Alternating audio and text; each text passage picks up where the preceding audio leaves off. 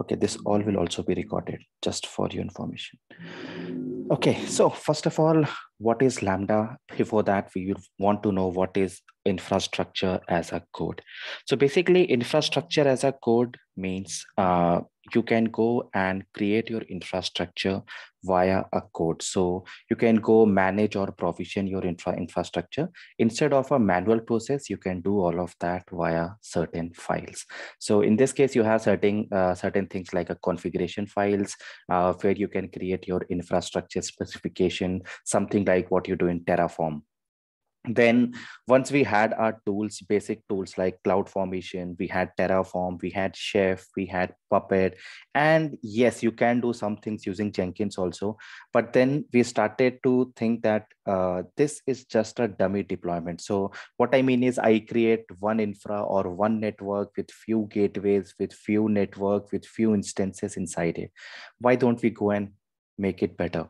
So how to make it better by creating certain variables. So basically now the developer, as a developer, you don't have to worry and manually go and provision the servers, the operating systems and the storage. And more important than that, you don't have to worry about going and creating the basic environment. So let's say you have to go and provision your infrastructure using node.js or using java in that case you need to go and create a server or a virtual machine or an instance or a droplet or an app server depending on whatever cloud provider you are using you go and create that. Then you go and install the runtime or the environment required to run that particular code base. Then you go and run that code base Alternatively, you could have just used uh, a VM, I mean the VMware product VM, or you could have done this using Docker also. But then still just to go and work on my infrastructure as a code and to provision my infrastructure, do we actually need to go through all this hassle of creating the environments or the runtime? The answer is no. So AWS came up with something known as AWS Lambda. AWS Lambda basically means you can go and run this code on some particular environment and the code will automatically be deployed and it will do the job or the task what it has to do. Now, I can continue with the theory, but it's always interesting to go with the practical things. So let's straight away deep dive into Lambda itself. Okay, just give me a minute. Is my voice breaking for everyone else also? Or is it fine? No, it's fine. It's fine. It's not breaking. Okay, perfect. Then Suman, uh, please have a look at your machine. Okay, so going back, uh, why not we go and directly create some Lambda functions? Now, before I go and create a Lambda function, some basics about the programming how we are going to go and create our basic program inside Lambda. Now, what I like doing is uh, going and creating a basic skeleton program. So skeleton program will only have the functions which are required to go and run that particular program instructions. Where to get a sample for it for that? For that you can go and visit the repository that i have created and like over here. This basically if you go over here and you go to your repositories and you go to lambda you will find lambda node over here inside this you will find the basic structure what is required. So this is it. That's it. That's lambda for you. Done. It's as simple as that as this. But yes we will have to go and create some basic skeleton structure. For instance let's take a base example uh, so I will create a Lambda. Okay, by the way, I'm starting with real-time implementations. Okay, so if you want to know more about the theory, theory part, either do a self-read or wait for in the normal class for me to go through that. Right now, let's straight away jump to the implementation part. So uh, assuming a scenario in which I want to start my server after it has stopped. Okay, so let's say auto starter server. So this case will actually come up in real time a lot wherein let's say my server or my machine or my instance has stopped. And once it has stopped, I just want to go and start that server again. Now, in ideal scenarios, what will happen is the moment your machine or your server stops, you get a notification, which can be either via email, which can be either via SMS or a simple push notifications on your phone. Your team's wake, uh, your team gets up, goes into the servers, goes into the console, starts it via the console, or starts it via CLI, or start it, starts it via your whatever internal tools are there. Assuming I don't want to do this, and I want that this thing should happen automatically. So basically, the moment my server stopped, now why it stopped, it can be because of various reasons. One, Yes, Narmada? Uh, sorry, it was. Uh, okay, fine. I don't know how it fine. happened. Yeah, so. Uh, so basically, uh, why my server might have stopped, pretty interesting actually. Uh, it can be because maybe the resources are not available maybe my machines are not uh, ready so the volumes are not set so it can be because of these reasons so either of the reasons but in any case i should ideally go and uh, automatically start my servers using Lambda. Rakesh, your question I'll answer in the end. After I complete Lambda, only after that I can tell you what's the difference between them. Okay. Okay. Uh, so um, basically what I would want to do is I would want to go and start my servers automatically using Lambda. But what if my Lambda itself is unable to start the servers? In this case, I'll have two scenarios. First, I will try to start my servers if it is good, fine. If it is not good or it didn't start, I might want to send a notification telling that Lambda tried to start the server, but it seems it did not work out. So a human intervention is required. This some people will term it as AI, that AI is taking care of it. But honestly speaking, there is nothing as AI. You either train the computer model or you create a model or you create a simple function with if else statement, which is taking care of it. So what we have established, we want to start a server. If it starts up good, if it doesn't starts up, in that case, I will send another notification to specific people telling that my server didn't stop. Let's make it even better the moment my Lambda function or my function starts, it will first of all send an initial notification that it seems the server is down. Lambda will now try to start the server. Then it will start the server. Then based on whether this operation was successful or not, it will either go and send a success notification saying that no human intervention is required. The server has been recovered automatically or it will go and send you a error notification that lambda tried to start the function or start the particular instance but it failed because of this reason. Human intervention is required. So this big program we have to create inside our lambda. How to do that basically what i always suggest is uh, you can choose your own method but i basically create a basic skeleton structure. What i mean is i create a function. So let me just save it. Uh, let's call it as autostart.js because i am working in node.js node javascript so i'll be saving it with .js so i'll say first i'll call a init function. Now init function can be anything doesn't matter. You are free to choose the name yourself. Right now because you're starting with lambda create a name so that it is in sync with the programming languages that you have used. What goes inside the function don't know at the moment. I am perfectly fine with it. Ignore it. Next function i will send a initial notification or let's call it as initial notification which will do some job what it does i don't know i will think about it later next i will go and send or start my instance here I will go and start my instance, which will automatically go and start the instance. And based on that, it will either go and send the success notification or it will go and send the error notification. So this is the Lambda script, right? Yes. Yes. So basically a normal basic skeleton inside Lambda. Now in reality, it will look something pretty much like this. You can take any one of them. It will look something like this, but I'm not going there. I'm just creating the basic skeleton.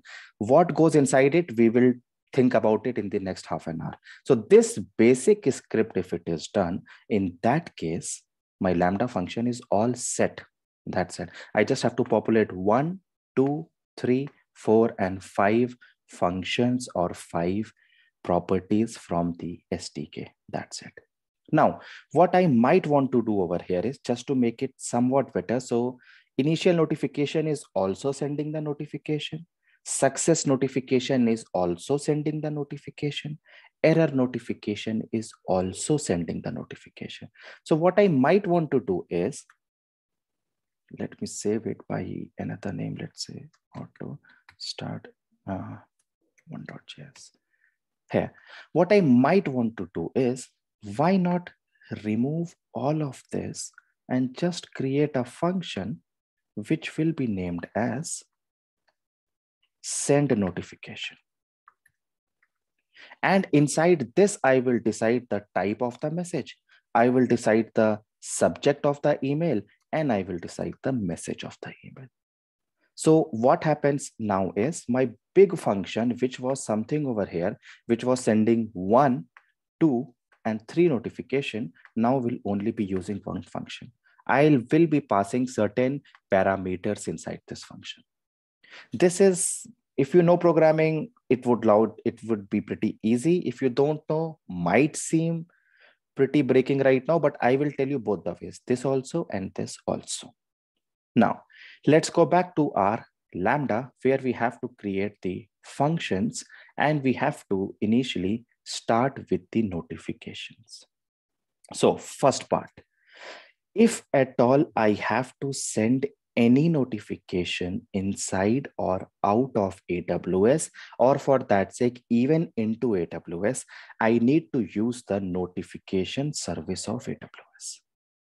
This is first part. Okay. By the way, if you are watching the video, just know that we will be touching base on these services here. And it will go in this sequence itself. First, I'll be telling you SNS, then I will be telling you IAM, then I will be going inside Lambda, then I will be telling you Events Bridge, and then I will be telling you CloudWatch. This is how we will go in the today's class because Lambda is a microservice. It will go and invoke other services. What other services? Generally speaking, it is the services in this order. So we will be going through this. So right now I am getting started with my SNS part. Going back, SNS basically is used if in case I have to send any notification into AWS or out of AWS. AWS. More than often, it is always out of AWS. Now, Using SNS, I can go and send any notification out. So for that, I need to go and visit the service. There are multiple ways, either go and type SNS inside AWS Search Console, which stands for Simple Notification Service, or just go and search for notification here, which will eventually open up SNS itself for you. So inside SNS, what we do is we create something known as a topic and that topic will have multiple subscribers and you will be pushing the message to that topic which eventually will go to any of the subscribers if it sounds difficult let's assume this case. Your office has to send email to 100 people in hr department. Will they send individual emails to hr department? They might but a smarter way would be why not create a email group? If you send the message to that email group, it will automatically go to all the 100 people who are added to that particular group. This email group in AWS is known as SNS, and all those 100 peoples are known as 100 subscribers. Okay, so I will go and create a email group or something known as a topic, and I will add multiple subscribers to it. By the time I am done with this third over here, I will also tell you how our Lambda itself can be added as a subscriber. But more on that after half an hour. For now, I am worried about simply sending the emails. One very interesting thing, the SNS pricing. Okay, if you think sending emails via AWS SNS is expensive, it is actually not first million emails are free to use okay so you can send one million emails for free inside AWS. So have a look over here. First million SNS requests are free. That is why people use SNS a lot. Okay. And after that, it will just charge you 40 rupees for 1 million request. It is that cheap actually. Okay. Fine. So I know that I have to go and create a group or a topic, and I have to add multiple subscribers or email addresses inside that particular topic. So what do we do? We go and create a topic first of all. I will go and create a topic and a standard topic because FIFO is used for queues. Standard is used for our emails over here. I will go and call it, let's say, lambda hyphen uh, webinar hyphen November 21. Display name, give any display name that you want.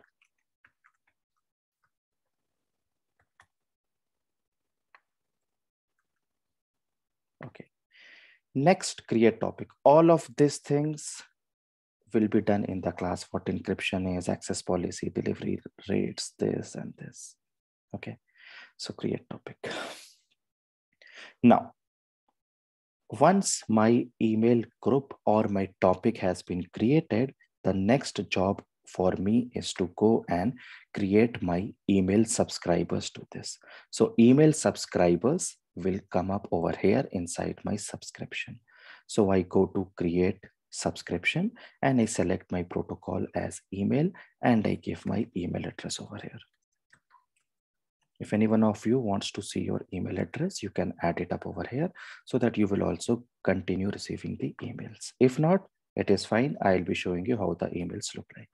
Now, just adding an email over here does not mean that the email will start to go to that particular person. They will also have to go and confirm for that particular email address. How does that happen? Let's have a look. Before that, because I got two more, let me add those emails also. So, okay. Only three I'll take now, Shriram128 at gmail.com.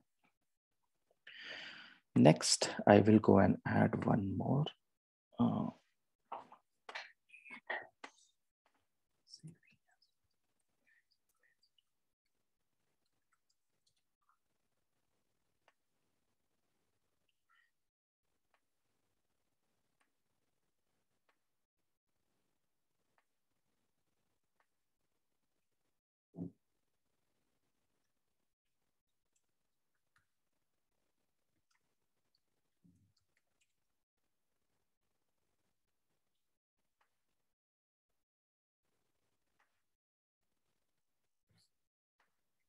finally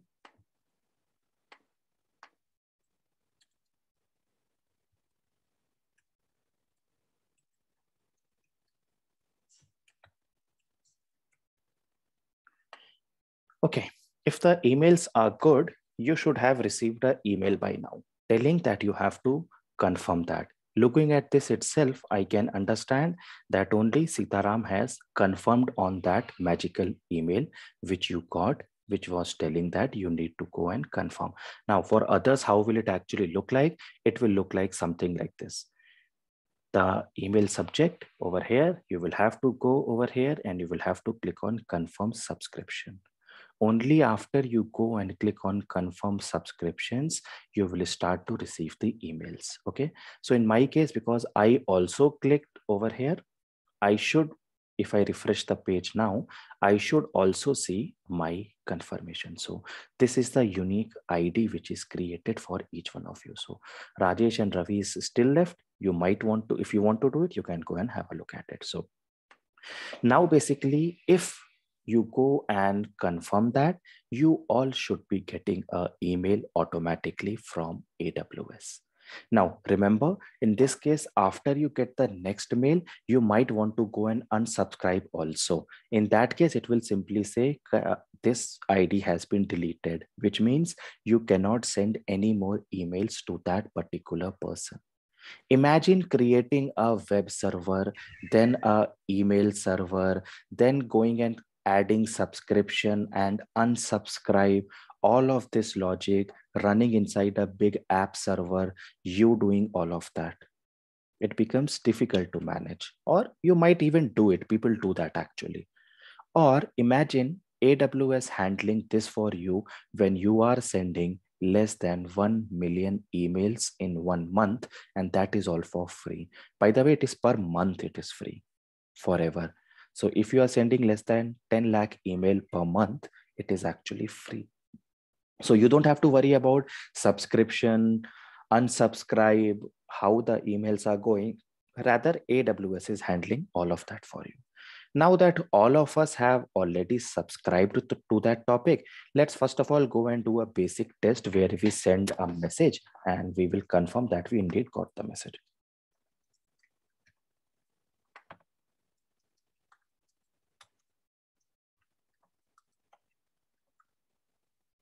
And I click on publish message and all of us will receive the messages now. Okay, now I won't go much into, la, into our SNS because the reason is that we want to focus more on our Lambda as compared to our SNS. Okay, so uh, now anyhow, the email you should have all received also by now. And basically that is just to prove or to show that indeed SNS notifications work. First part. If this part happened now, let's go to the next iteration, wherein SNS has been completed. Now we will start with IAM or Identity and Access Management. This part is very important. In fact, anyone going for architect level interviews or preparing yourself for being an architect in AWS, or in general, anyone more than eight years of experience, people focus more on IAM or identity and access management. This you call it in your companies as RBAC, maybe role-based authentication, or you might call it as a security credential management, whatever way. It simply means that what service inside your AWS account can be accessed by what person at what time under what conditions. Now, IAM is not a part that we discuss in this class. Maybe in two weeks we will do. But in short, IAM roles can be as simple as give Anurag access to EC2 or give Arvind access to EC2 only in Mumbai or give Ashish access to EC2 in Mumbai where he can only start the instances or give Ashutosh access to EC2 in Mumbai where he can start the instance and only these four instances or give Avinash access to EC2 in Mumbai where he can start the EC2 instances and only these two instances and he can only do it if he is opening aws from this particular ip address. Or finally give babu the access to ec2 inside mumbai only to start this four ip addresses if he is opening it opening aws from this ip address. And multi-factor authentication is also successful for him you see, you can start with iteration one where you want to give all the access and you can make it as complex as you want. You can even create multiple policies like give someone access to Mumbai and not to North Virginia and to Stockholm if his MFA is enabled and so on. IAM and the conditions or the security credentials you create can be complicated as much as you want. That is a big lesson or a class in itself. We are not going over there as of now because our things are restricted to Lambda itself. Okay, so that we will do in other classes. For now, we should just pay attention to the part that we have to do inside Lambda. So going back to Lambda, how is Lambda, IAM, and SNS actually coming in together? The answer for that is, just excuse me.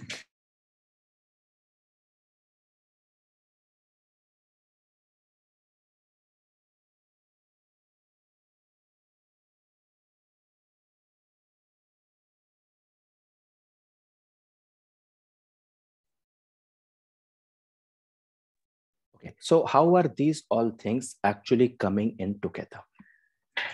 The thing is that if you see who can access my EC2 servers? I said any specific person can go and access. And you can go and complicate that also as much as you want, which basically means anyone can go and access any service of AWS, provided they have the permissions for that. Now, the permissions inside AWS IAM is something known as a policy.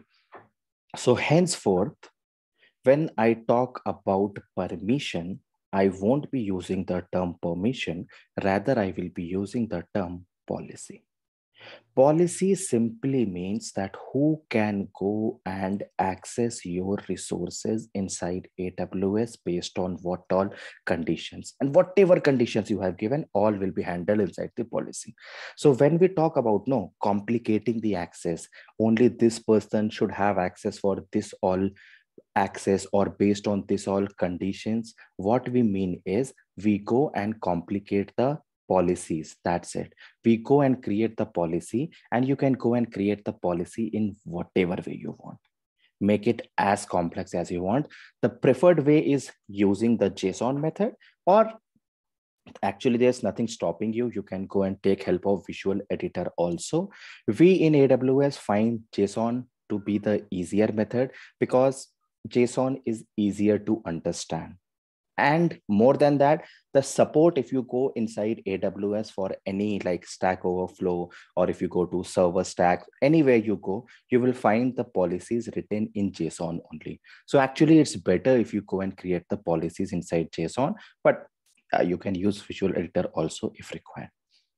So if I need to give access to anyone, let's say I want to give access to Gopal to go and access EC2. What I will be doing is I will be creating a policy for EC2 and I will be attaching this policy to Gopal. So next time, whenever Gopal tries to log into his AWS account, it will go and see and he tries to open ec2 first thing that aws will see is go to gopal policies and see if any of the policy is matching the operation that he's doing. He's trying to open ec2 right? And he has a policy of ec2 attached so access will be given another example let's say harsha is trying to access my s3 but i haven't given harsha access to s3 in this case what will happen is harsha tries to open s3 AWS will go and see does Harsha have any access for S3? The answer is no. So in that case, Harsha will see something as access denied.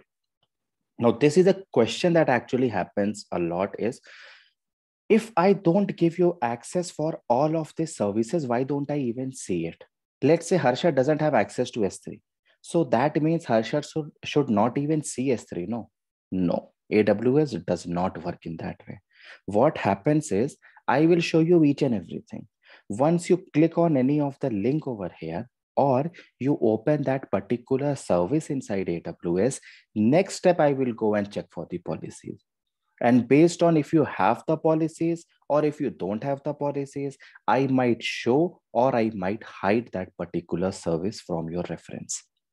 Okay, so whether you see it or not doesn't happen the moment you open your AWS console. It happens only after you click on a particular service. Okay, so keep that in mind. It works like that. Now, more on it, we will talk about our STS uh, token service inside AWS, but once we deep dive into IAM, not right now. For now, we are interested more in one thing. What did I say? Who can go and access S3, any specific person? by that logic, what is Lambda doing? Lambda is automatically doing certain jobs for me, isn't it? Lambda will automatically go and send a notification, isn't it? Lambda will automatically go and start my EC2 servers, isn't it? Which means Lambda should somehow have access to my EC2 and SNS. Now, Lambda is not a human being who is inside your AWS console who logs into your AWS with ID and password. Lambda is also a service inside AWS. EC2 and SNS is also a service inside AWS. So in this case, if Lambda needs access to EC2 and SNS, you will have to go and give Lambda the policy for that or the permission for that. Now, how will a service go and access another service? This is also the difference between a user and a role. That's it. A user is an actual human being. Who is using a ID and a password to go and access any service. You can go and create or delete the user at any point of time, which means they cannot go and log into their AWS console. On the other hand, the role is created for AWS service to go and access another AWS service. Have a look at this program over here that we did. This part. Lambda function will have to go and send notifications. It will have to go and start the instances. Lambda should have access to notification or to the servers. Lambda should have access to SNS and EC2. So how will Lambda have access to EC2 and SNS? The answer is we will have to go and create a role for that. So how do we create a role? Pretty self-explanatory. Click on create role over here and give this a name. So let's wait. So who is going to use this role? Answer is Lambda. AWS is already telling you that common use cases EC2 and Lambda, but it can be anything, especially people, those who will be taking the class for migration. Remember that you will have to go and choose either migration hub if you are doing migration, or if you are migrating your SQL servers or your RDS instances, in that case, you will have to go and select RDS. So RDS will have multiple options over here. Okay, for us right now, we want to work on Lambda. So basically Lambda will be calling the services on our behalf. So we select Lambda over here. Next is the permissions, in which case I will go and choose any of the permissions. Now, I want to go and work on what services? I want to work on SNS, isn't it? Because I want to send the notification. So I am giving full access as of now. Remember, this will change once you start creating your own policies like something like here i have created okay how do you know it this is your policy because in this case this logo won't appear that means you have created that policy but for now we want lambda to go and work with sns and ec2 so i will go both for sns as well as ec2 and i will give the full access over here what this is again in our IAM class we'll do we will go add a tag. Let's say we are giving a name to it and we are calling it, let's call it as lambda hyphen web hyphen. I'm giving it access to SNS and EC2, right? Okay, let's name it lambda webinar so that I will change it also later. And let's say created by and give my name. And maybe location. Important thing, IAM does not have a location it is a global service. Why? If a user is opening AWS in Mumbai or in North Virginia, it doesn't matter from where you are doing it because all of it is going inside one AWS account itself. So for that reason, we don't have anything as location inside our IAM, but nothing stops you from adding a tag anywhere. Okay, so location, let's say Mumbai over here. And uh, let's put a flag as can delete and let's make it true. Okay, and let's also put something else there. Now, tags, there is no definite rule for that. You can go and create as many tags as you want. Review, and over here, you will have to go and give the name of your particular role. I am giving it lambda hyphen webinar, and I will say lambda role created for webinar November 21 and okay so we will just lock the name over here so that we don't forget that the role name was lambda hyphen webinar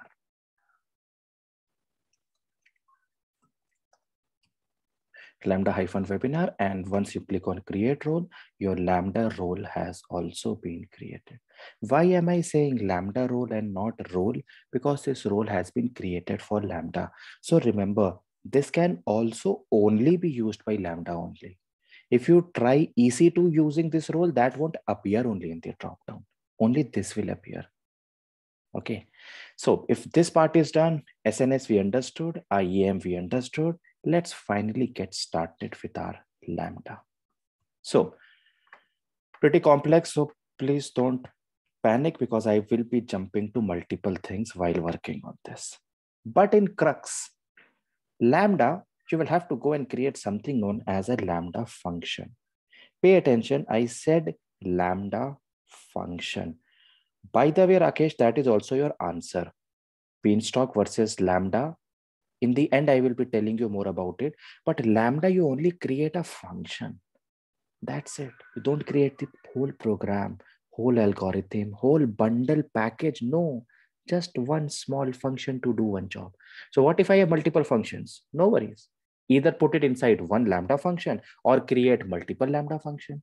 The same way as lambda can call SNS, the same way lambda can also call another lambda function.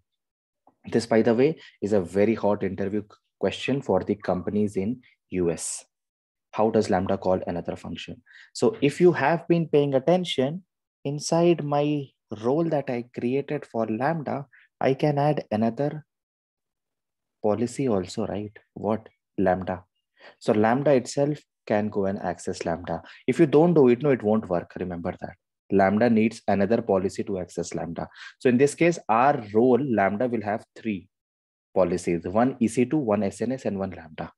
Okay, fine. Anyhow, going back to our Lambda, we will just have to go and create a simple Lambda function how? We click on create function over here and we will go and give this function a name. So I am calling this as, uh, let's say start EC2 instance. Okay. Now remember these rules are there, letter, number, and all this thing. Have a look at it yourself, self-explanatory. Important thing is runtime over here. I will have to go and choose the base environment which I want my Lambda function to work on. So this they will ask you in the interviews a lot. What are the common layers or what are the common platforms that are supported inside Lambda? The answer is .NET, Golang, Java, Node, Python, and Ruby 2.7. Why do we select Node.js? Another reason is the default one is itself Node.js only. Okay, so for that reason, I select Node.js 14. You can also go for the older one, Node.js 12 and so on, and Python 3.6, 3.7, 3.8. Python 2 is not supported as of now because it anyhow, the end life cycle of that has happened back in 2020 itself. And we are now in 2022 almost. Okay, so uh, I same have- as uh, Azure Functions. Uh, exactly the same. Okay, so I can have any of these environments, Python 367. Here comes a question. What if I want my own one? I don't have Python 2, but fine. The client says Python 2 is not supported, but still I want you to create your own Lambda function in Python 2. What do you do?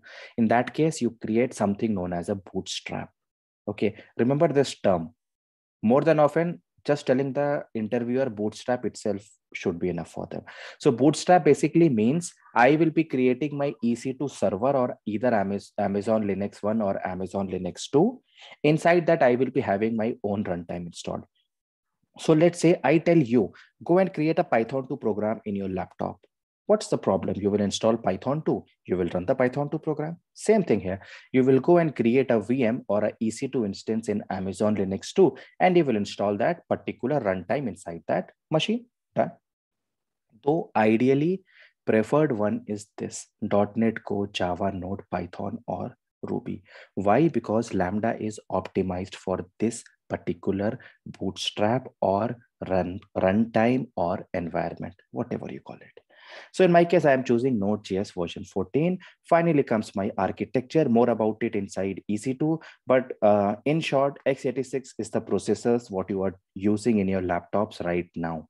Intel processors. ARM is what you are using inside your cell phones, inside your iPad. Anyone working on M1 Mac is also using ARM machines itself. ARM processors are uh, they generate less heat they have less compute power also. This thing is debatable after m1 max in apple. But still x86 is what you use in your laptops. This one is generally what you use in your phones ipads watches and so on. So in my case i am choosing x86 64 but nothing stops you from using this also. And now comes the interesting part. Why we worked on iam why did we go and create a role named as lambda hyphen webinar because my lambda will have to go and work on SNS and EC2, right? how will Lambda itself go and work on EC2 and SNS? For that, you will have to go and choose a role. Now, because I have already created my role, I will just go and type the name of my role, which is lambda hyphen webinar. Similarly, if you are creating for Alexa, you can do those also. If you are creating for Lambda, you can do this also. Alexa special thing comes inside Lambda because Alexa devices, if you know, the Amazon Amazon devices which speaks, uh, that itself is integrated with Lambda. Okay, so Alexa shows up over here, rest only Lambda roles will show up okay? So this is basically what you do inside your roles. Now if you want you can create your own role from here. You can create your template if you want that what do you want to do. For example you only want want ec2 or you want s3 or you want Rekognition. So amazon has already created certain templates for you. But the ideal way what i will tell you to do is to go and create your own existing role.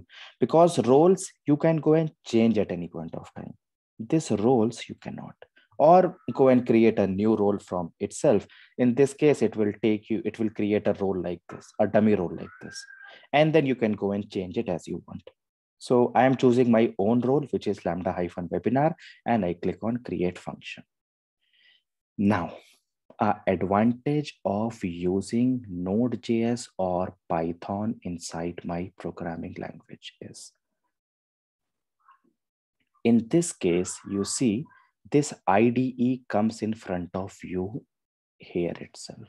You can go and start writing the code here itself.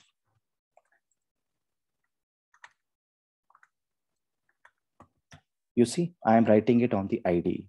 Now, what does not happen with Java is this IDE won't show up for you. You will have to go and upload your code. Remember this again you will have to go and upload your code inside Lambda. Python or Node.js, you can go and automatically work on it here itself. This, by the way, is also one of the differences between your Beanstalk and Lambda Rakesh. Beanstalk won't give you the IDE. Lambda gives you the IDE. One very basic difference, but nonetheless, it is a difference okay. Now my only job left is to go and create my lambda function. That's it. Let's get started with that. So lambda in progress and let's go to our function now auto start. This function will go and start my ec2 instance automatically but if I need to start my EC2 instance, I also need to have a EC2 instance first, isn't it? So for that, I will go and just create a simple web server inside EC2. And to prove that it is indeed working or not, because just Lambda or AWS telling me that my web server is responding isn't much in itself, right? So what I will do is I will go create a web server install Apache web server inside it, and then we will stop my server. I will see my website is not responding. We will start my server and we will see the website is re responding. So that's a basic full proof that, okay, Lambda, EC2 and everything is working the way it has to. So for that, what I'll do is first of all, I need a static IP address. Now, if you don't get this part as of now, it is perfectly fine because this is EC2.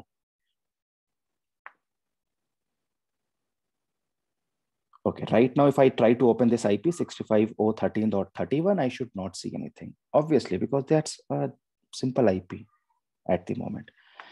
Next, I will go and create my web server. So let's take instance, launch, and let me create a Ubuntu 20 on x86, and I'll take a T3A small machine here and anywhere is fine. This is fine. This I'll add a name over here. T3 micro also should work, right? Yeah, yeah, anything should work. But I don't want to know that in the class it, it stops working. Means it takes time in booting up. So I'm taking a bigger instance. That's it. Okay. okay. And because it's a web server, so I'm also enabling port number 80 over here.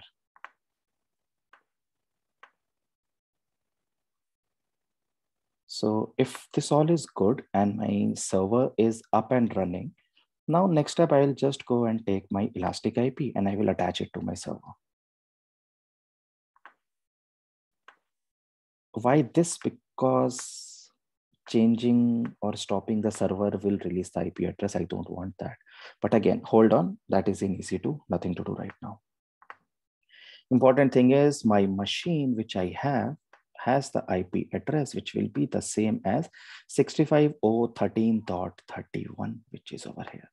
But now still if I open it and I refresh it, I still don't see anything, isn't it? And the reason for that is I haven't installed only anything inside it, right? So first let's go and make a connection with that. I will use this, this, and my console.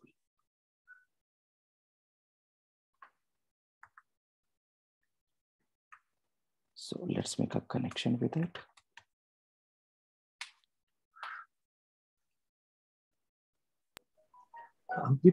Yes. Apart from the uh, default user, do we have any root user? Yes, I am the root user only at the moment. If you don't create any, the moment you create your AWS account, you are the root user only. Okay, uh, Rakesh, your question, that is what we are going to do in this class only, starting or stopping the servers with Lambda. That we will do, automatic we will do, and a time waste we will do, basically. These three things. Like the services uh, in the server. Yes, correct. Oh, okay. That part, oh no, that part can't be done. For that, you will have to create your own SDKs for that, which will be listening on that event. That we will do inside my DevOps class, actually, if you're there. Okay.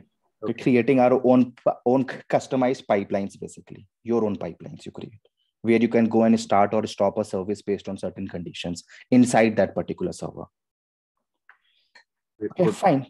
So let's go back. And if I do this while I was talking, what I have done is I have gone and created my web server over here. Now, just one thing, uh, because how do we know that this is my server only, right? So what I will do is let's make a connection with this machine again.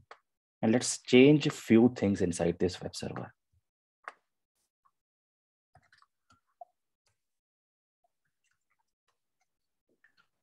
Okay, stopping and starting of uh, EC2 will change the public IP address, right? Correct. Then... That is why I use the Elastic IP, if you see. Okay, got it, yeah. So uh, over here, if on the top, if you see, it says Apache2 Ubuntu default page, right? This title over here says. So uh, what I'll do is I'll go and change this over here. Again, if you don't understand this, perfectly fine. More about it inside our DevOps class we will do. But I want to show you that, okay, indeed it is working. So let's call it what? Lambda webinar or lambda hyphen web and save it this and this and everything is good. If everything is good, now if I just go and refresh my page, have a look over here, this will change to lambda hyphen web. So now our whole class henceforth will be worried about this server only. Starting it, stopping it, automatically starting, automatically stopping, and basically timed activities. Something like start it at 8 a.m. every day, stop it at 6 p.m. every day, or maybe reboot it every eight hours, something like that. Okay. Now our whole class is worried about this IP alone. So let's note it down also. Okay, uh, to yes. overcome that, so instead of using uh, on the static IP address, we can use DNS name, right? You can use DNS name also indeed, but then the DNS name is also dependent on the IP address only. So have a look here. This part here and over here. You see this DNS name is nothing but IP address only. 65 yeah. 13.13. Hi, Ankit. Sorry, I just joined late. Just you hmm? created a web server with an Ubuntu test page, all right? Correct and I will be adding it with Lambda now. Okay, okay, fine. Cool. Now, Even so, though it can communicate, right? The IP address got changed also, it can communicate, right? If it is uh, over the private IP. Yeah, yeah, private. Correct, correct. Or I believe you understand this then uh, you are well ahead of everyone. So basically VPC, if we go and modify our DNS name, basically we add it to our forest or Azure Active Directory or Active Directory in short. In that case, changing the IP address won't affect anything or the DNS name remains the same. Okay, if you are thinking in that regards, yes, IP address doesn't matter. Anything less than that, then yes, either the private IP or Elastic IP. Okay, now that our web server is done, important thing is also to note down the instance ID because when I say start or stop the server, which server? How will AWS know? Answer is instance ID itself. So if we are good till here, let's get with the Lambda part now. Okay, my first job will be to go and create a program which will automatically go and start the server. Or let's say it will automatically start the server. Or finally, it will go and do it on a timed based activity. Three things. First program, I will go and create to start the particular server.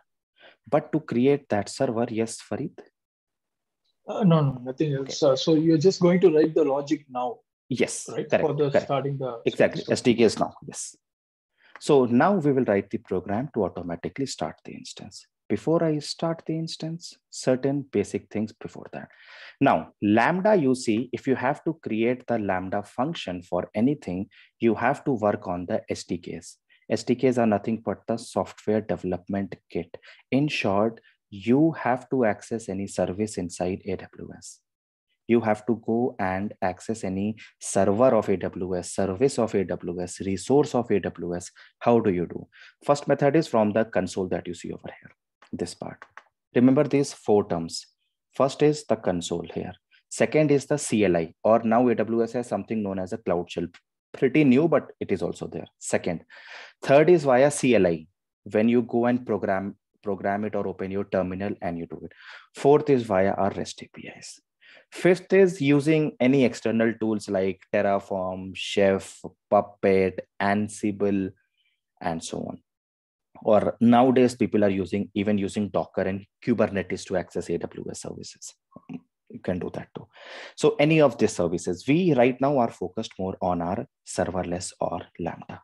So we will be writing the script and script how will aws understand via some programming language which programming language we had already understood that right node.js so what i need is i need the sdk for aws to understand and sdk inside aws first of all. And what sdk do i need? I need to send the notifications right? What is notification service known as? Sns right? So i will just go and type sns googling itself will give you the first result on the top. So if you click over there, next step that you will get is you will get all of this thing. And this basically has list of all the things that you will ever need inside SNS. One thing, there is a probability that SNS itself has only eight features and my SDK might have 20 features. SDK will always have more resources or functionalities as compared to either your console or your Terraform tools like Terraform or your CLI. SDK is the topmost thing. It will always have the maximum number of results. Okay. So inside my SDK, I will go and what I have to do, I have to send a notification, right? Now, once you are in the normal course, you will understand. For now, just trust me when I say the SDK or the function name is publish. Just have to go and copy paste this as it is done. Nothing else to do. Okay, but let's not go ahead of ourselves. First thing, let's understand how to write a basic program. For that, I have already told you that you will go to, uh, okay, let's start from the beginning again. Uh, just go and open Google over here. Just go, go and open the name of the repository over here. It is and alike, my own repository. Click there. Self-explanatory. Click there, go to repositories and go to Lambda. Here, and if you go down, I have already mentioned it. Look out for program named as sample program.js. So either you can go and click over here or simply click here and it will give you the base program like this. Just go and copy and paste it as it is. Nothing else you will change over here. This thing you are not going to change. So what happens here is where AWS equals to require AWS SDK. Like in Java, you use import, same in Python, in C, C++, you use hash include iostream.h or conio.h, whatever it is, you use that. Similarly, inside Node.js, we use require keyword. So I'm just saying that C, AWS, you will be requiring something known as SDK. And all of this basically lands up inside the variable named as AWS. Second thing, this Lambda program is a region based thing, right? Mumbai, you have to select a region where it works. So for that reason, I am saying AWS, your region is set to this. My region is Mumbai, so I will take AP hyphen south hyphen one. Okay, next, this line you can ignore. This we are going to do now, followed by a basic function that you write. And whatever function name is over here, it has to go over here. If you are interested in knowing why to do this, the reason is this Lambda function itself has to be used by AWS. So for that reason, this Lambda function has to be exported out of AWS. This is Node.js way of saying that this function can be exported out of AWS. That's it. So basically, this is how your function will look like. This function name becomes the first function name. After that, you can go and write whatever you want. So basically, if we have to go back, I just have to do this copy over here and I paste it over here. And in the last line, hmm, where are you? In the last line, I just have to give this module.export.handler over here. And this is in turn referring to this function name. No? What was the initial function for me that I created? Init function. So what I will do is I will just go and put init function over here. That's it. That's a program for me. First, I say I will be requiring AWS SDK. Second, I tell AWS that I will be working on the region AP South one. Then I say that, see, first of all, you will have to go and work on the init. Sorry. Ankit, can you repeat that uh, from last minute, what you said? Perfect. From the beginning. Fine. From let's, last one minute, yeah. Let's remove everything and then let's start again. So let's remove this all. And this program, I believe till here we were good, right? Yes, yes. This basic thing we were good. Fine. Okay. So what I said was that go to Google, go to Andalite, go to Lambda node and just copy this basic structure of your program. Okay, so just go and copy it as it is over here. Okay, fine, thank you. Uh, next is remove this part over here. And this where AWS equal to require AWS SDK. Why? Lambda is working on AWS SDK. So for that, we will need to go and tell AWS that I will be requiring this particular package. The beauty of using Node.js is you don't have to go and export everything. Lambda will automatically understand that it is Node.js, it needs this package. Same thing will not happen in Java, will not happen in Ruby, will not happen in .NET. There you have to go and export the packages yourself.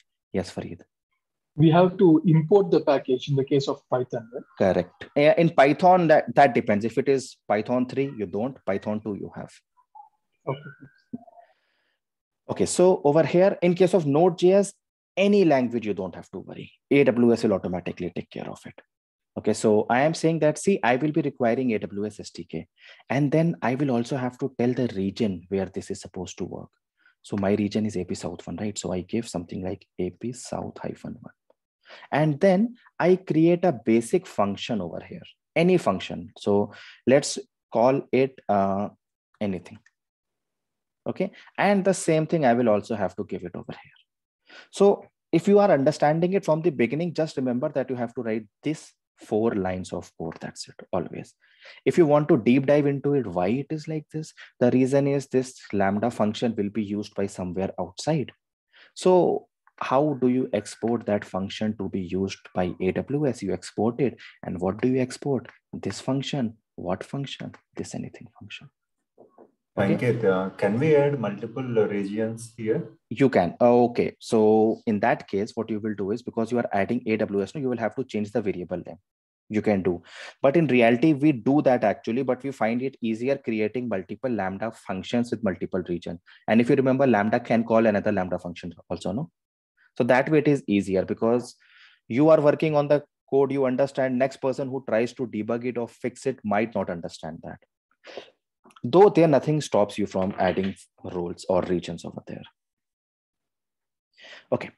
With respect to Java, how it will be uh, assigning the regions and Same thing, same thing, same. It remains the same. Okay. Wait, let me show you what we want SNS, right? Hmm, this one. I believe you understand Maven, right? Yes. So if you are inside Maven, then if you go inside any of the package, it will tell you what you have to do. And all the code is written over here. Why Node.js and why not Java? You will understand it once you start. See, have a look at it. Here itself, pretty complicated. No, same thing inside my, this part here is so easy. That is why we prefer working on Node.js, honestly. Uh, Okay. People will ask, why do you use it? Why Node.js, not Java? Tell them this thing as it is. Okay. Cool. So over here, going back, I have to give this function. Someone had asked a Yeah, question that you wanted to repeat. Yes. Yeah, Ankit, I mean, uh, till now, what we did not just uh, in Python, just we import Boto 3 like the same way we uh, we are doing that require AWS. Exactly. Exactly as it is. Okay, okay. As it is. Though in DevOps, I will be telling you the same thing in Python also. But here I'm telling you Node.js. That's it. Okay. Okay. Fine. So this is my basic function that I need to create. And actually, if you see, I have to do nothing. Copy this whole thing and paste it over here. Done. That is my program. That's it. Now, what I did was instead of copying it from here to here, I had done the other way around. I copied this thing over here. So maybe that is why we got confused. But at the end of the day, it's like this. So someone had asked this question. Is it understood now? Okay, I'll take that for a yes then. Okay, so this function, anything that I wrote, no. Why not make it something better? I already have an initial function, no init function. What I will tell AWS is that AWS go and import this function init function. Now what will happen? Init function will call initial function based on certain conditions. Initial functions will call start instance based on certain conditions. Start instance will either call success notification or it will call error notification based on certain conditions. Okay, what those conditions are is what we are going to do. In short, what happens is this calls a function, which in turn will call a function, which in turn will call a function, which in turn will call any of the functions over here. Rajesh, you had certain questions. If nothing, then let's proceed. Now our only job left is to go and create my functions and write the code inside it. That's it. Okay, let's leave this for now, this for now, this for now, and that's it. Okay, first that I have to do is init function will anyhow be calling initial function. So what I will do is I will just write a note for myself console.log initiated with function and I give the name of the function, which is init function. And this is for my own logging purpose. And I'm also calling the function named as initial notification. Done. So what will happen is first it will go here, it will go here, it will go and call init function, which will call this, which will write this in the log. Uh, this for Java people is SOP. For uh, Python uh, people is print. For uh, C, C++ is uh, your cout or printf. This is what we call as console.log over here and which in turn will call our initial notification, which will start doing the job that we want to do. What will initial notification do, by the way? Send notifications, right? How? Go and search for that thing, SNS, copy it and paste it over here. Done. That's it. It will automatically do everything. Now, over here, what I want to send the message and message attributes, deduplication ID, group ID, structure, phone number. If I want to send, I can add that. Not required, so I'll remove it target ARN is if I have to send to a specific person that I don't need. So actually I am left with only three things, message, the subject and the topic ARN.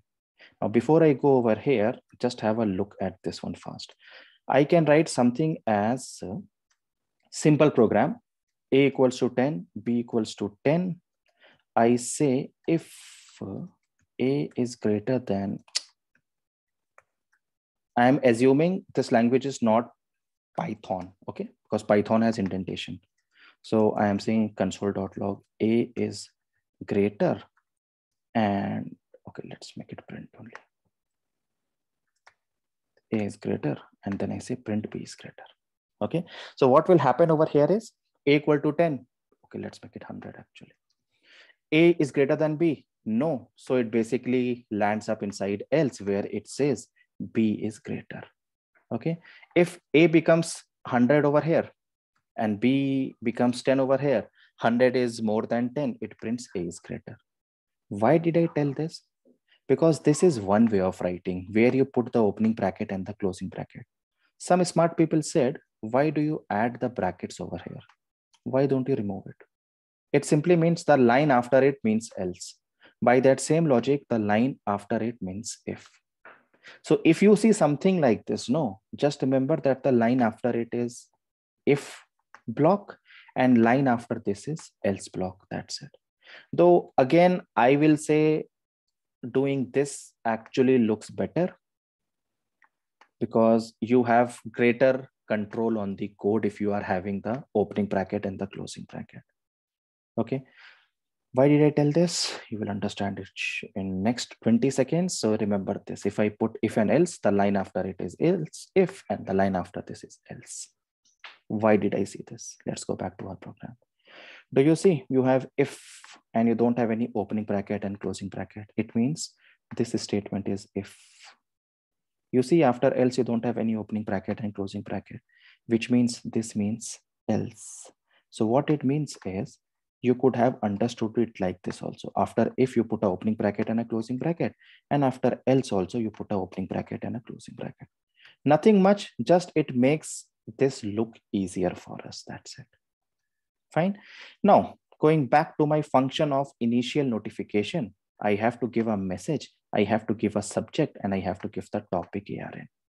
You have to send the notification to someone, right? Some group, right? Some topic, right? Which topic? You have to do that by sending it on the ARN. Those who were on the weekday class on Friday might understand it very easily. Let's go back to our SNS. And this part here, I just need the topic ARN. Those who were not in the weekday, class, fine, have a look at it now. Though what it exactly means, I can't tell you in interest of time. But for now, at least I can show you what a ARN will actually be like. ARN stands for Amazon Resource Name. Anything inside AWS will always have a ARN. My ARN was Lambda Webinar 2021. No, this part here. Copy this as it is. Copy and paste it over there like this. Okay. Now this depends on you. You can say, why do I put single quote and not double quote? You are free to do that also. Though I prefer single quotes over here. Okay, next part. Uh, so my way of writing it is, if I have to declare anything, I put it inside single quotes. If I have to log anything, I put it inside double quotes, though it depends on you how you want to do it. Next is the subject. This subject is nothing but the email that was sent to you. Okay, so in this case, assuming this function has been triggered, if this function is triggered, it means my instance has actually stopped which means I will send that message and that's error. So let me give a code error 101 instance stopped. This will come up on the email subject. Next is my value. I will say, hi, instance has stopped. AWS Lambda will try to auto start the instance. Okay. Now, why do I put a subject over here and message is big? Because in reality, no, once you get an email, if you are checking email on your phone, the subject will show up, no, until you click on the mail. So what we do is we decide the error messages ourselves. So if I see E101, it means that AWS is doing something. I don't have to take any action. So if you slide down the notifications, looking at this message itself, you can do. Elsewise, you have to go and open the email each time. This thing, once you are pretty advanced in this thing, you will understand. But for now, I will get this particular email automatically that AWS will start the instance. Now, when I am sending the messages, either two things will happen either the message will go or the message will not go either delivered or not delivered If it is not delivered, it is an error, in which case I can't do anything. Notification itself haven't gone, what can I do? If the message was successful and was delivered, it will call my next function, which is start instance. Okay, so again, pay attention. It calls my this function, init function, which in turn calls my initial functions, which in turn will go and send the notification, which will either fail, in which case I won't do anything, or it will pass, in which case it will call start instance. Now my next job is to create the function to start the instance. How to do that? Let's go back. AWS, EC2, and SDK. Here, this part, and I will go and search for the function which says start instance. One advice, if you open the EC2 SDK of AWS, this consists of many resources actually. So it will take quite some time in loading. Okay, so let it take. We will come back to that. But before that, why not create the function for success notification and error notification? No. So assuming this start instance was successful, everything was good, my instance had successfully started. In that case, what I have to do is send another notification, right? Let me copy it from here and this part over here. And I will just change the message and the subject over here. Yes, Krishna? Okay. Okay, I can't hear you, Krishna, though.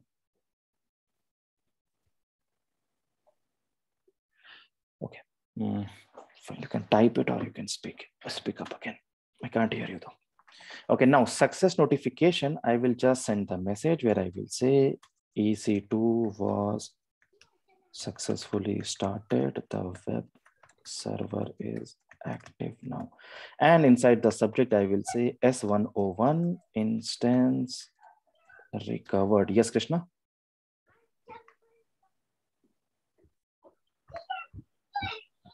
Okay, fine. So if everything is good over here, in that case, okay, I have missed a bracket, is it?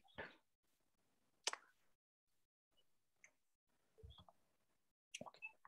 So it will go over here and it will publish that everything is successful. Assuming that it failed, my instance didn't start. In that case, I will send the error notification. EC2 not recovered.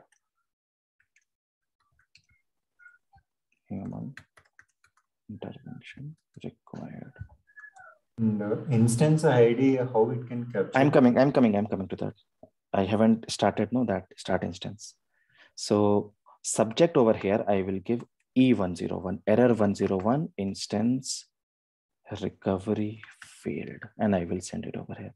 So right now, I don't know how this thing is, but I do know that I will either send a error notification or I will send a success notification. Based on what? Based on whether my instance was successfully started or not. And how will that happen? For that, let's go down to start instances. So I'm inside AWS EC2 for SDK and I will go down and I will go to my start. So I have my start instances over here and my simple job is to go copy this and paste it inside my function over here. That's it. Anything which is commented out can be removed. And if you have been following me, we understand that after a if I give a opening bracket and a close bracket, and after else I give a opening bracket and a closing bracket so that it becomes easy for us. Now, interesting things. First of all, which instance is it? For that, I will have to go to my EC2 and I get the instance ID from here. This is my instance actually. Okay, so what will happen? It will try to start the instance and which instance? This instance. By the way, what if you have multiple instances? You can go and give all of them over here. Just put a comma. This is nothing but an array of strings. Python people, it's a set. Uh, Java, C, C++ people, it's an array of strings. Okay, so in that case, you can go and give the instance ID over here. And what will it will do is it will go and start the instance. If it errors out, means the instance did not start. In that case, it will go and call this error notification. And what will error notification do? It will go and tell that my instance had failed and human intervention is required. If it was successful, in that case, it will call success notification, which in turn will go and tell that my instance was successfully started. This is how you go and write your basic Lambda function here and this. Now, if you look at it, if from the beginning, this actually might look pretty difficult, but if you have been following, we just went and created a basic skeleton and based on that, it happened. But then again, first of all, let's go and run it to see if it is actually working also or not. For that, I will just go and paste it over here. Achha, one thing I missed out actually, my bad. Uh, how do you know that this is SNS or EC2? So one thing that we missed out was in the very beginning, you also have to go and tell AWS that see AWS, you will need to work on EC2. So for that reason, I give this also. And by that same logic, I will give the same for SNS also. So this will actually become like this, where AWS equals to require AWS SDK. The region that I am working on is AP South 1. I will be working on EC2. That is why it told me EC2. I will be working on SNS. That is why I told SNS, I told SNS, and I told SNS here. Okay.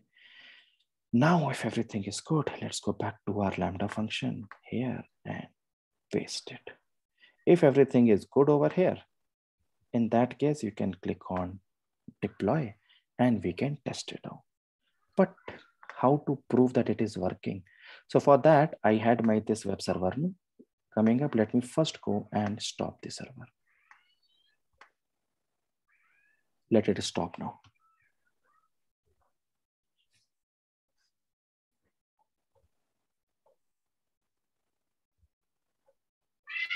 Once my web server is stopped, this also won't show up over here. Okay, this will start to uh, one uh, yeah, one quick question. Like you mentioned, right? Start and stop uh, code that you took from SDK, AWS SDK. right, console. right, right. Yeah. See, that code is similar for all the programs, right? It seems like Python. Uh, yes, yes, almost same. Only the scripting style will change or the programming style will change. Just the same. SDKs are same only. New. But in console, it didn't show that, you know, it's Node.js or like anything, right? Oh no, no, because here you see, no, it says AWS JavaScript SDK. This part. Okay, okay, okay, right. Okay. So that is why it took only that, or else it would have shown you another one like Python or something like that. There we you use Boto and Boto 3. Okay. That yeah, so on DevOps, I will be telling you. Deep dive we will do into DevOps is more into Python now. So AWS, Node.js, DevOps, all Python only. Boto, Boto 3. Okay. Cool. Now, if this is actually stopped, and if I go and try to let's open it here, so it won't show you anything. Why? Because the server itself has stopped, right? Now, if my Lambda program is all good, it should automatically go and start my server, isn't it? Right now it says stopped, it should automatically go and start my server. For that, I click on test over here. I call it as test one and I click on create. If everything is good, it should go start my instance. My execution result will show up over here and my Lambda function will start. Now, by the way, if everything is good, you should have also received particular emails telling that the instance was started or stopped or successful. By the way, if everything was good, if I go over here and I refresh it, I should also see my instance automatically running, which also means this was not working then, but it automatically started now, which means my Lambda function automatically have started my servers or Lambda has automatically invoked my EC2 instances.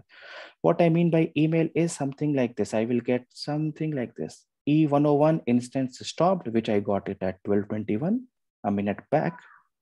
And then over here, S101 instance recovered. So just by looking at the subject itself, no, you will see E101 straight away, you will see S101, you will know, okay, something happened and AWS automatically recovered it also. So E101, S101, so the sequence of flow that happened was, it called this, which sent me a notification, which was E101. Then it went inside start instance, which went over here, which tried to start the instance, which was successful. So it had sent me success notification or S101. That is also what I see over here. E101, S101. Fine. So this is how you go and create your Lambda functions. Now, this thing is good, but each time I have to go and trigger my Lambda functions manually, right? No. Let's go to the next part. Events Bridge. Events Bridge basically is a service of AWS which listens for events. What are an event? Starting an instance is an event, stopping an instance is an event, rebooting is an event, terminating is an event, which means if my instance stops, which is an event, my events bridge can automatically go and catch that. And how will it do that? For that, we will have to go and create something inside my events bridge. Now this Lambda is no longer required, honestly. Okay. Uh, by the way, it was, this event was earlier available inside my CloudWatch. This was known as events. So in case someone who works on AWS or in the interviews, they ask you about CloudWatch events, just tell them that events was the name which was for it earlier. Now this is a new service itself, which is named as Events Bridge. So what we'll do is we'll go and create a rule, but you can't do anything as of now here. You anyhow will have to go to Event Bridge services inside AWS, where we will go and create a rule. Which rule? If someone goes and stops my instance, or if my instance is stopped automatically. So click on create rule. Let's say auto start EC2 and I will say auto start the instance based on an event. Which event? Which is predefined. Who is giving?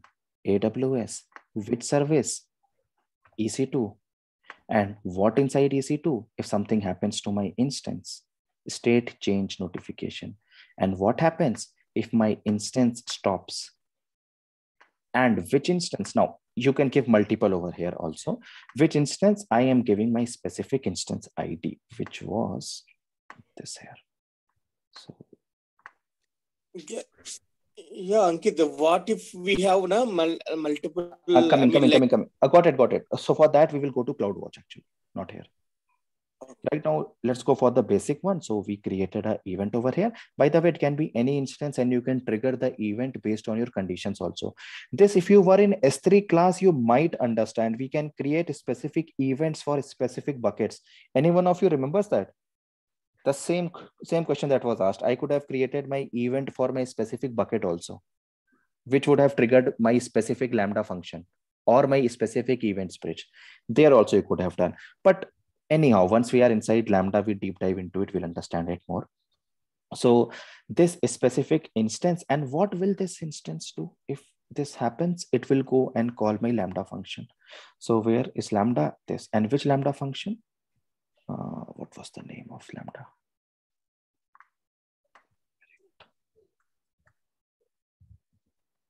Now you will have to go and, sorry? Lambda hyphen webinar is the thing what we have for Okay. Lambda function. No, no, Lambda function was something else. That was a role. It is either start or this three I have. Okay, let's see anyhow. So based on the created, this one I can understand. Uh, start EC2 instance, fine. So says what will happen, it will work, but we won't realize that it is working. And we click on create and done. Go and remove all the other services of AWS. Let AWS do its job now. Instance state stop. If I stop my instance or not me, this me, this is me triggering that stop. No. What if I don't stop my instance and AWS instance automatically stop? No worries. Events bridge will still do its job. If it will automatically go and send the event to events bridge, which in turn will call my Lambda function, which in turn will automatically start my instance. So for a very split second, if you are lucky enough, you will see something has stopped. After that, it will go into th- the pending state and it will go into start state. You see, you stop the instance, it automatically will go and send the emails and it will automatically start. In short, this will still be up and running. You can go and stop it and then it will again come up. Now here comes few questions. First of all, this is how you go and create your events. You create your Lambda, you go and merge your Lambda with your events bridge. Now, because the time is up, I can't go for CloudWatch, but I will tell you what additional things can be done with this.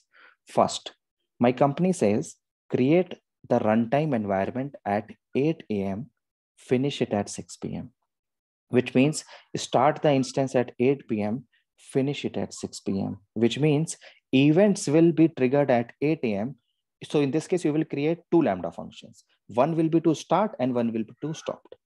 And you will automatically call it every day at 8 a.m. to start and call it every day at 6 p.m. to stop two things. In this case, two Lambda functions and two CloudWatch events will be triggered. First part. How is that triggered? That is also done via events bridge itself. Okay, let me show you only. So in this case, you will go and create an event bridge based on some specific conditions. So this thing is inside DevOps or inside normal one, we call it as a cron job. Okay, this one we had done over here. We had event pattern. No, we will do it on a schedule. What is good? Schedule, do it every eight hours or do it every eight days or do it at whatever time you want. This is one way. Or no, I have something specific. In that case, let me give you an example something like this. So basically what happens is it will go and call the event every day at 20, 30 hours. What was the condition I told at 8 hours? No, 8 a.m. you have to do. So just make it 0800. So 8 a.m. every day, it will automatically trigger this event. This can be based on GMT or your local time zone. I will say that please work on GMT only because mm, we face these problems a lot of times. Some person will go and make it local time zone now local time zone for them is uk for the next person is osaka for the next person is alaska and for me it is bangalore so four places it becomes very complicated so everyone now chooses one time only gmt if you want to do it you do the uh, you do the plus minus in your time zone and you make it yourself but this should always be gmt only okay so basically what happens every day at 8 a.m this event will start, which will start the my my particular event, which in turn will trigger my lambda, which in turn will start the event, or maybe something like this. 1800 hours, it will automatically stop. Okay, so this is how you write a cron job. More about how to write cron jobs that we will do inside our DevOps.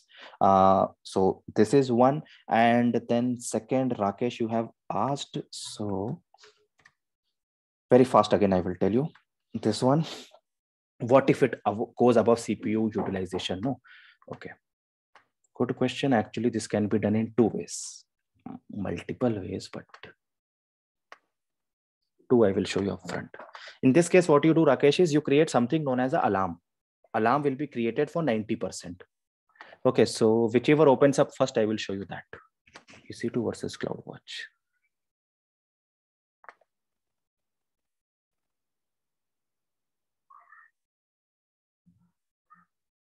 Okay, this opened up first. No worries. Here, monitoring. If you anyhow go inside this one,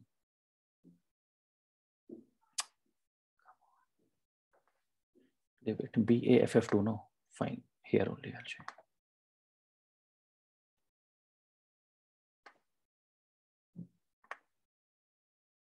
Here, metric. Uh, what was your metric? CPU utilization, no?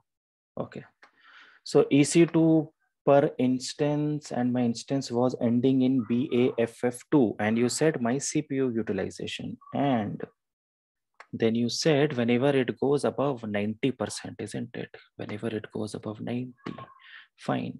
In that case, what you want to do, you want to go and either send the notification or in this case you can use this or in this case you can do this existing topic or let's say existing topic and first of all let me send Lambda webinar.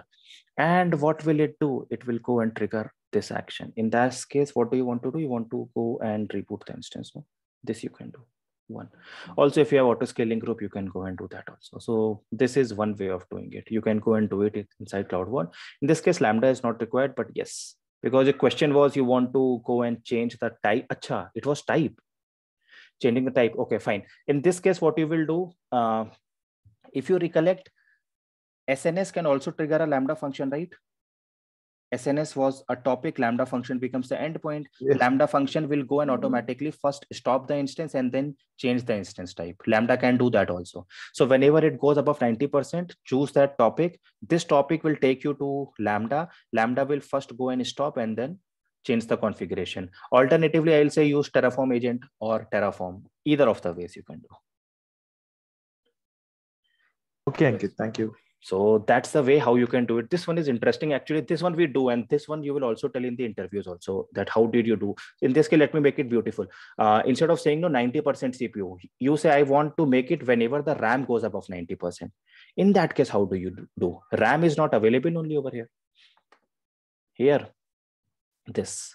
Have a look. It has EBS or volumes. It has CPU. It has network in out. Done it doesn't have ram. In this case how how will you make it based on the ram? Ram is not a metric only over here. In that case you you case you will add cloudwatch agent cloudwatch go and listen for the agent metrics inside your cloudwatch logs over here. So if your CloudWatch agent is set and CloudWatch logs group is seeing that it is more than 90%, in that case, you can go and do this. One more question was to go and start or stop a service or a specific service. No, I believe Rakesh had asked that. So that one was uh, Rakesh.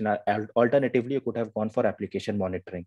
In this case, you have a service known as X-ray inside AWS. Go and monitor that specific log and you can go and start or stop that particular service inside AWS also. Okay, uh, fine. So this was all about my servers, about my Lambda, about how to go and trigger my Lambda. Venkat, yeah, exactly. The custom metrics, but you need the CloudWatch agents for it, right?